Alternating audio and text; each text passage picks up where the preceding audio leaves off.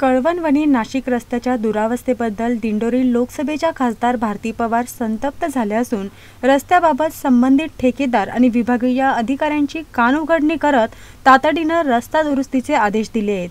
अन्यथा खड्ड्यात बसून आंदोलन छेडण्याचा इशारा दिला आहे. उत्तर महाराष्ट्राचे कुलदैवत सप्तशृंगी मातेच्या शारदीय नवरात्र उत्सव सुरू आहे.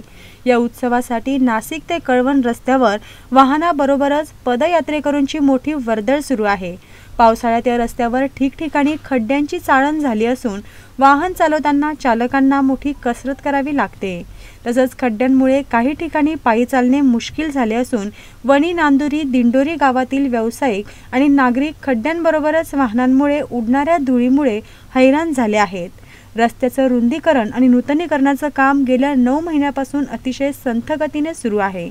तसंच कामाचा दर्जा नसल्याच्या तक्रारी नागरिक करत आहेत. याबाबत खासदार डॉक्टर पवार यांनी संबंधित विभागाच्या अधिकाऱ्यांशी संपर्क साधत येत्या दोन दिवसात कार्यवाही करण्याचे आदेश दिले.